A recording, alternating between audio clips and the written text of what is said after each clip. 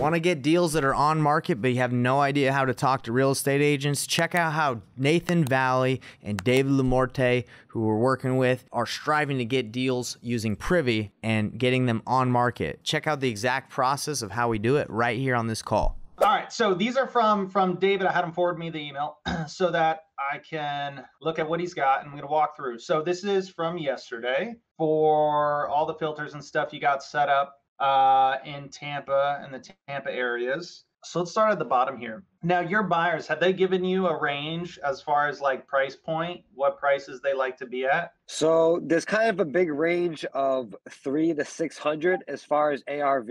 But as far as purchasing price, it seems they want to purchase between 100, like purchase at 100 to like 220 seems to be like where they want to purchase at, especially for flips in like the 350 area. Okay, got it, got it. So sort of similar to Orlando, they they want to be at that like probably ideally that that three four hundred ish ARV. Sounds like you got a few people that are willing to go a little bit higher on ARV. That's awesome. they want to buy at one hundred. I'll be honest, man. I think I think everybody wants to buy at one hundred in Tampa. Yeah. Similar to Orlando, they they have, if we're able to get stuff, um, they probably realistically want to be closer to the low twos would be my guess. So, guys, these are all things as to why we want to kind of establish relationships with our buyers first, because these are important things we want to learn before we start spending a bunch of money and trying to find deals. Okay, this is not really what we're looking for. House is in great condition. What I'm doing here, David, is I am looking at what properties, you know, in the email, when we click on 13 properties, you know, it'll bring up the privy tab with all 13 of those properties. And so what I'm doing is I'm going through and I'm like, okay, which of these properties look like there is an opportunity for there to be some motivation? There's a few things we look at. One is, you know, as a wholesaler, as investors, the number one thing that's the easiest is it needs work done to it. So as we're looking at these, I'm not seeing a whole ton. Now, this is also my first time kind of really getting a feel for Tampa. So I'm looking for our, you know, what properties look like they have an opportunity for us to add value to it. So this property, you know, kitchen could definitely use updating. Not a bad house by by any means, but um, this thing could, you know, use a little bit of TLC, a little bit of updating, yeah, I like this a lot. Now, I, I price is the last thing I ever look at. Number one thing I look at is, you know, first I just double check and make sure it's a property, you know, beds, baths, square footage, all that good stuff that my buyers would be remotely interested in. So first thing I'm looking at is pictures, right? Is there is there an opportunity for us to add value? Second thing we want to look at is how long has it been listed, right? It's only been listed for two days. And then I'll take a peek at price. Now, if this has been listed for 60 days, you know, it just gives me a lot more information. And then I take a quick peek at the property remarks. I love that Privy has this right here. Uh, Clearwater Home. So looking for things just like this. Great opportunity for your next cosmetic remodel project. Boom. This probate property. Oh, they even throw it in there. Being sold cash only. So literally, the description is inviting us to give them a. It's hey, cash buyers. Hey, wholesalers, investors. Please give us a call. You are the people we are looking for. Awesome. Love it. Love everything that's going on here. The sale is subject to final probate approval. Highest and best offers due by 9 a.m. Monday. So this property probably not going to have a whole lot of room for us to really be able to negotiate, but we're going to call him up and we're going to call Jamie up here. So down here is where they've got um, the brokerage and the agent that is listing the property. And so we just copy that and then we're going to paste that right into Google. and then, you know, I'll click on like one of the first ones here, realtor.com, and we're looking for their, their mobile cell phone number. Don't typically want to call the office. I want to get directly to them. All right, let's call Jamie here. All right, come on, Jamie. This is Jamie. Hey, Jamie, this is Nathan. How you doing? Not bad. How about you? I'm doing good, thanks. I uh, I was calling about a listing I saw here of yours on uh, on Hoy Ave. Yes. My guess is your your phone's probably been been melting. uh, you might be right about that. I uh, I was just calling to see if you had a couple minutes to chat about it. Sounds like I might have caught you in the middle of something though. No, it's okay. Oh, perfect. Yeah, Jamie, I'm looking at it as a potential investment opportunity. I was wondering if you could just tell me a little bit about it. Anything in particular that you think would be important for someone like me to know? Its highest potential is a total and complete remodel roof, windows, AC, tear out the kitchen, new flooring, and paint. Okay. So you're thinking for this property, yeah, it'd be best to kind of go with the full, full, full rehab. That's what I would do. What do you feel is kind of the best fit for it? Do you think it's a better fit to rehab it, do it really nice, and then you know look to list it back on the market after kind of everything's been done to it, or do you think this property might be a better fit as a as a rental? I think you could actually go either way. If you were doing it as a rental, you'd probably make more money long term by not going quite as high end on the remodel. Uh, but there's money to be made either way. It's in a nice enough location that you could go Martha Stewart and get top dollar, which between my research and the comments of other agents that have talked about it, some of them think it's going to go to 430. One person thinks higher. I'm, I'm confident it would go to 420, possibly higher. Okay, so you think if it was if, if the rehab was done well and done nice, it, it, it could list and sell on the back end for around 420, 430 ish. Yep. Okay. That's my professional opinion. And I don't have a horse in the race, so Got it. Has there been kind of any recent properties in neighbor neighborhood kind of similar to this one that have you know kind of pulled some prices like that? yes. Okay, nice. You wouldn't happen to know the address off the top of your head by any chance, would you? Nope, I wouldn't. I wouldn't go into that much detail with you over the phone if I did. Just to be completely honest. Oh, got it. Why, why, why, why is that? Well, I mean, you're you're picking my brain. You know, I I don't want somebody else relying on information that I've given. I'd be more interested in hearing what you have to say, and I'll happily agree or disagree. I'm very very old school when it comes to that. Plus, I've got probably 70 phone calls from investors, all similar conversations to this, and you know, ultimately, anything that I tell one person, I've got to tell every other person because I'm not going to be in a position to willingly or unwillingly give any one person the, an advantage over the others and put my own real estate license in jeopardy.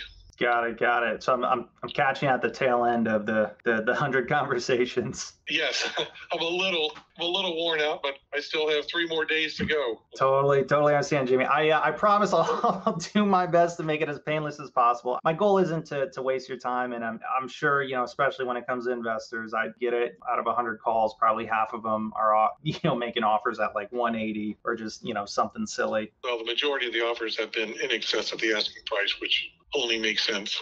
That's fantastic. The, the MLS price is just a, a sign that says, come look at it. Yeah. For this property, um, I know, I mean, kind of twofold. One, you know, I'm, I'm interested in it. I, it's kind of perfect fit for what I'm looking for. Um, but of course, at the same time, I know you, you're going to have absolutely no trouble selling it. You know, you've already got kind of a bunch of offers over asking. My goal is I, I don't want to waste your time, Jamie, you know, or mine. You know, my goal isn't to insult you or the sellers, you know, with, uh, with a low offer or an offer that's less than what they were looking for. I guess my question is where where would I realistically need to be at in order to be competitive? The most specific I will be, and I won't be any more specific than that, is that the first number is going to have to be a three. Okay. No, that's that's totally fair. I, I appreciate you giving me that much info because yeah, like I said, you know, my goal isn't to waste your time or mine. And then aside from price, obviously, you know, doing the highest best price is is the number one thing. Um, that's my goal. Other than that, is there anything else of importance? You know, other than Nothing, nothing whatsoever. Uh, you know, it's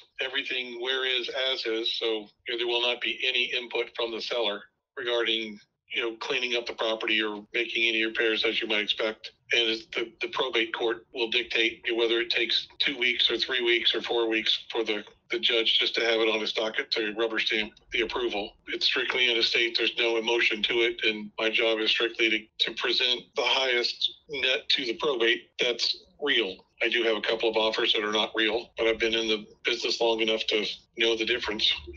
mm, when you say not not real, what what do you mean? Somebody that comes in with an unusually high number and a low good faith deposit with a inspection period. Know, all they want to do is be able to yeah. lock the property up and then attempt to renegotiate it. That's what I call not real. Right now, right there with you. Yeah, all these, all these play. You know, Tampa. I know you guys got a ton of them. Uh, where you'll get wholesalers that'll call you up and they'll, they'll be like, "Oh yeah, I, we, we we could pay you know four hundred or something," and they're like, "Oh, but we want a you know hundred dollar earnest money, thirty day due diligence period." no, I, I, Here's the title company, right? right. yeah, right. Hundred In fact, uh, we also will not allow any wholesaling with anybody that makes an offer that is subject to uh, reassignment will not be considered. Yeah, nope, totally understand. Nope, no problem there. The one last thing I, would I'd love to throw out to you, Jamie, is you know I gotta I gotta crunch the numbers and look at things on my end. And I think I, if I'm able to get in that ballpark, I'll definitely be giving a call back and, and let you know where I can make my offer at. When I do that though, I, I am calling unrepresented. So I if it's okay with you, I'd I would love for you to be able to you know represent me and and keep both sides of the commission. Or if you'd like to offer any of that as a discount, totally up to you. But if that's okay with you, love love to do that. We'll just take it as case basis. Um, I'm fine to represent anyone that's unrepresented. My goal is not to increase my commission, but I will gladly make more commission if I can. So no, I, I, I love it. You aren't be any more transparent than that. right, right. No, I love it, Jamie. I um no, I appreciate your time. Don't don't let me take up any more of your time. I, I know uh, you probably got a couple missed calls already. One last thing, I you don't happen to have any other properties, maybe anything similar to this, whether I don't know it's listed or it's going to be coming coming up soon. Anything that would be you know similar to this or could use a little bit more work I, uh. I do have another one that's very similar to this, but the seller has already gone three months longer than what he told me he would on, you know, there are a brother and a sister, like a son and a daughter. Both of them have some emotional attachments and they're just dragging their feet. So I, I really couldn't say. I've had people calling me for the past four months, ask me about it. And as far as I can tell, it's probably going to take them another three or four months at the minimum. Would it be helpful to you at all if I were able to make an offer on that property that you could present to them, but it was contingent on No. them? Okay, that wouldn't help them at all. Got it. Gonna nothing's gonna move them. They're fully aware that the property's most likely gonna be worth more money whenever they get around to turning me loose on it. So it's they they don't have too much kind of um, motivation to, to move their feet kind of thing. Apparently not. No, most people would, but they have other things that are more important to them than how quickly they can split up the money. Well, yeah, I'll tell you, Jamie. I'll tell you what. Um, this is my personal cell phone number. If it's all right with you, I'll shoot you a text when we hop off here, so that you have it. Feel free to hang out on to my number. You know, love to chat with you if you ever have a property or situation. And I, I do a lot than just kind of purchasing cash. Is just one kind of thing I'm able to, to to bring to the table. But you know, any properties, any situations, you know,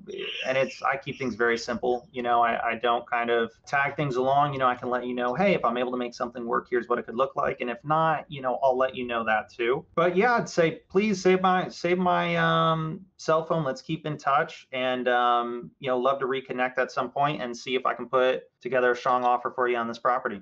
That sounds great. Let's do it. All right, Jamie. Thank you so much for your time. I, I hope your phone's not too busy this weekend. Uh, no problem. Thanks for the call. All right, have a good one, Jamie. You too. Bye Bye bye. bye. Come on, that's what I'm That's talking about about. If you like that video, hit that like button. Thank you.